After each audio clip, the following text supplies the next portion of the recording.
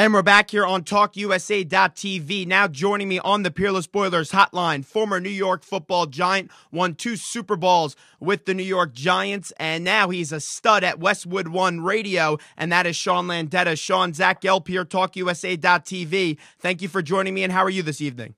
Very well, Zach. Great being with you tonight. Well, thank you for coming on. And I've got a lot of questions today about punters getting into the Hall of Fame. And you're up there with Ray Guy. Uh, the two of you have just such prolific punters. Do you ever think we'll see a day when a punter gets into the Hall of Fame? Well, I appreciate those kind words. I hope uh, one day in Canton, Ohio, you see a punter in there. So far, they have not seen fit to, to put anyone in. Ray Guy has been a finalist five times, I believe, and hopefully at some point, whether it's them or the Veterans Committee, you'll see he he get in and him get in, which he should. And uh, hopefully, once that happens, there'll be a few others get in. But uh, so far, they're not there yet. But let's see what happens. Well, you look at the New England Patriots, a team the Giants play this week, and the Patriots for many years had a kicker in Adam Vinatieri. He won them a Super Bowl in 2001. He won them a Super Bowl in 2003 with two game winning kicks. And most people forget in 2004, he had a game winning field goal with eight minutes left. It wasn't at the final seconds like it was in the two previous Super Bowls. How would Adam Vinatieri not get into the Hall of Fame with the ample amount of success that he's had in this league? Well, I, I agree with you. I think you're going to see him get in the Hall of Fame. His time is up. There is one pure kicker in the Hall of Fame, Jan Stenerud. Uh, George Blanda and Lou Groza are also in the Hall of Fame, but they played other positions. But I think once Vinatieri's time is up, uh, you look at his body, his work, and especially, as you said, what he did in the Super Bowls, I don't think there's any questions we may see him in Canton, Ohio.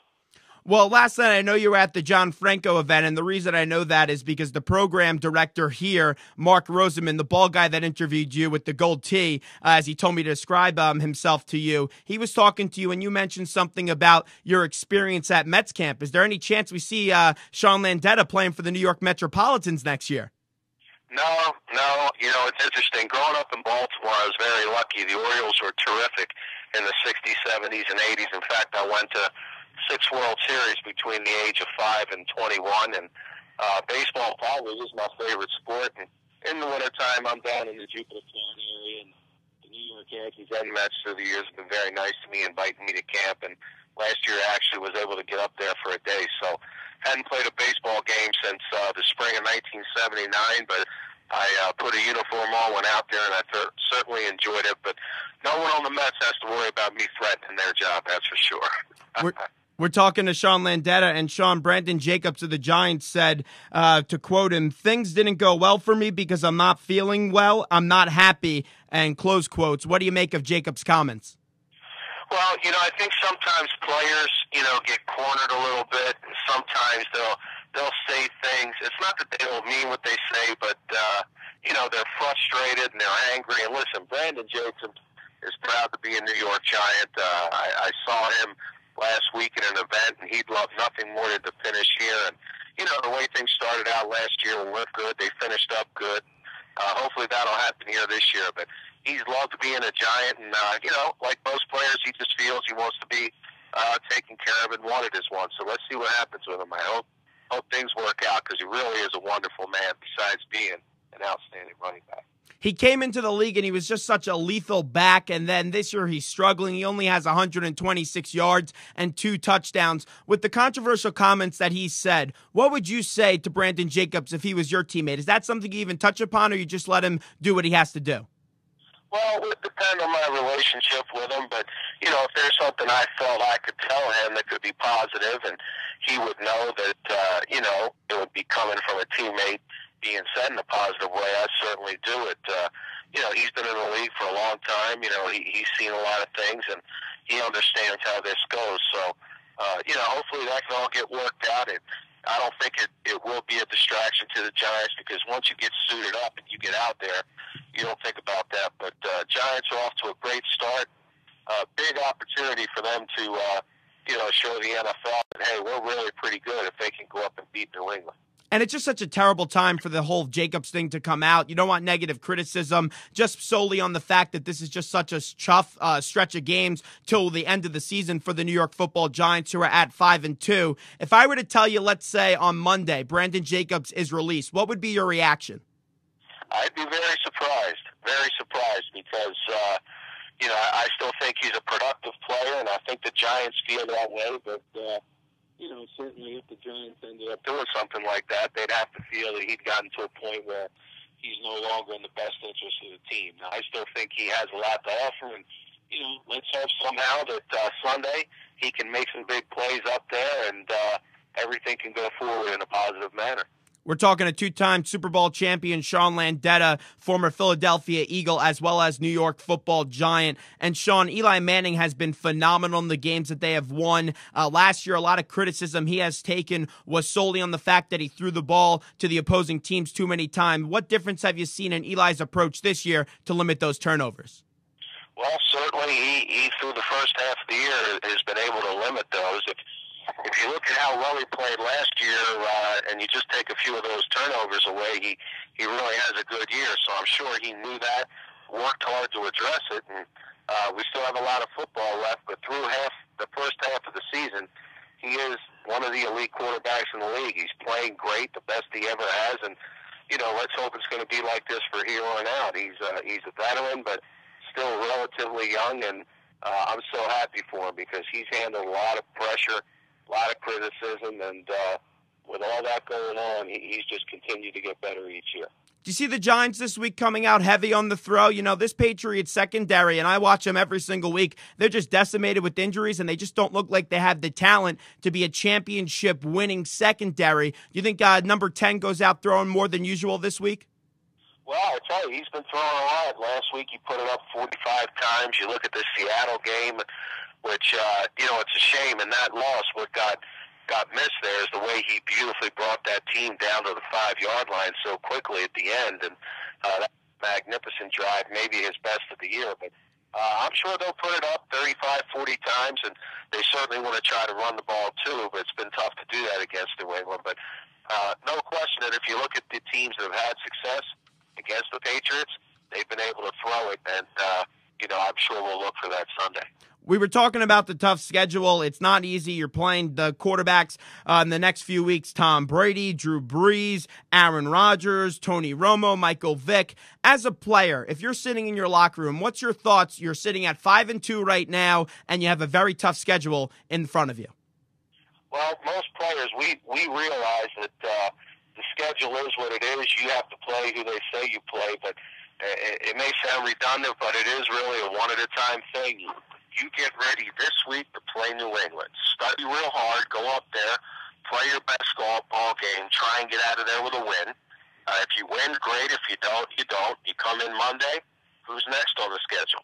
You know, you you, you got to take this thing piece by piece, and uh, I think the Giants may surprise a few people. There's no question the teams they play are among the best teams in the league right now, but we all know how this thing changes. Uh, one of these teams gets a few guys hurt, somebody loses a game or two, and all of a sudden things are different. But uh, great that they've opened up five and two, and you know certainly they're in pretty good shape here in the NFC East. Zach Gelb here on TalkUSA.tv, and Sean Landeta joins us on the Peerless Boilers hotline. Peerless builds America's best boilers. And Sean, uh, this Giants uh, defensive line, they have been phenomenal this year. They have just been causing a plethora of havoc on opposing teams' quarterback. Break down this matchup this week as the Giants' defensive line goes up against a pretty talented group in the Patriots' offensive line.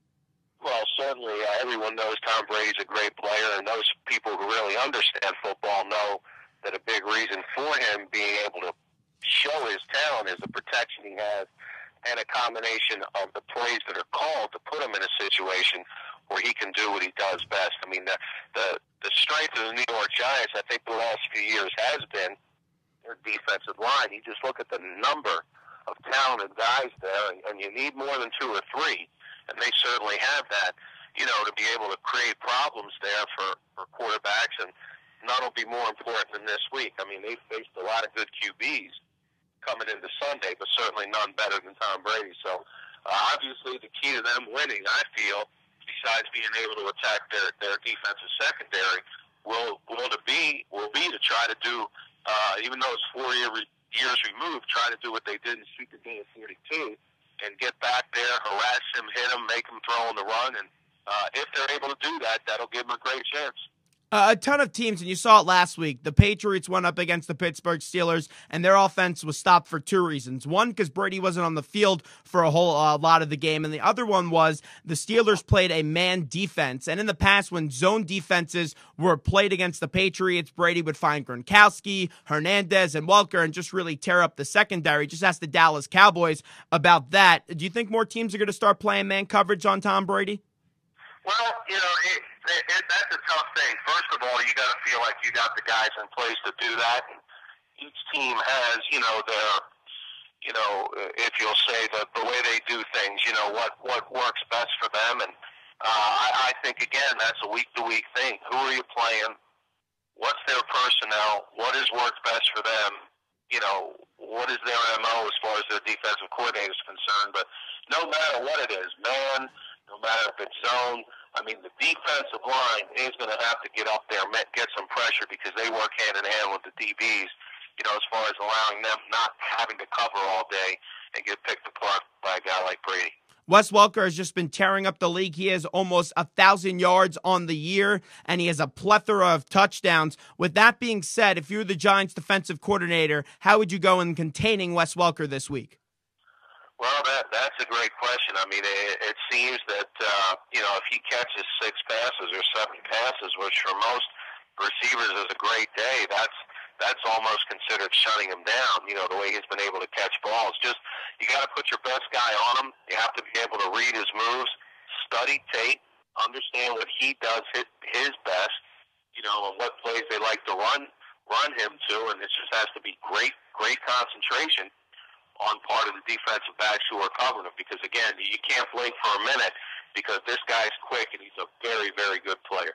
Sean, two more questions right before we let you go as we're talking to two time Super Bowl champion Sean Landeta. I'm going to put you in the role here of a GM. I was talking to Kurt Warner, I was talking to Charley Casserly, and I asked him this question If the Indianapolis Colts have the number one pick in this year's draft. Peyton Manning will be returning healthy next year. Andrew Luck is obviously coming out this year, and he'll be the number one overall pick. If you were the Colts GM, would you take Andrew Luck, knowing at what you have with number 18? Well, I think the one question that would have to be answered to me very clearly is number one, is Peyton healed, and what do the doctors feel? You know, it, it looks like for him on a long-term prognosis. Because I think Peyton Manning can still, if he's healthy and able to play, still be a very, very high, uh, a very proficient, high productive quarterback for another three, four, five years. I would stay with him because he's proven it. He he's done it, and he would just have to be in the physical shape to do it. Andrew Luck, we all understand how great he is in college. I'm sure he's going to be a pretty good pro, but you just don't know. We've seen too many quarterbacks Ryan Leaf. the last 25 years come out in the first round that it just didn't work, even with the hype. So keep that in mind. And we mentioned you won two Super Bowls, and I'm sure you get this question asked to you a ton of times. Which one stands out more to you in your mind when you go to bed at night? Was it the first one or the second one? Well, certainly, anytime you, you do something you've always dreamed of and wished for, the very first time, there's nothing that can replace that. But the second one you can make a case is more special. We beat a Buffalo Bills team that basically was an all-star team. I mean, they had so many great players, not good players, great players, and we played a game that was almost played to perfection on our part, and we still could have lost on the last play of the game. So uh, that second game was just an amazing win by us doing everything right, you know, at a certain time, but nothing was like that first one, especially the way that season went. And, Uh, I was very lucky to be part of that experience. Take me through that missed field goal. To, to, take it from the perspective of right before the snap is made and then once it missed. What's your reaction? Well, from our sideline, he was kicking right to left. And as he kicked the ball, halfway there, it looked pretty good. But one of our defensive backs, Roger Brown, who had rushed off the corner, and he wasn't able to lay out block the kick, but he ran behind Norwood. So he turned around, and out of the corner of my eye, I could see him jump because he was the first one that could tell that it was going to be wide right.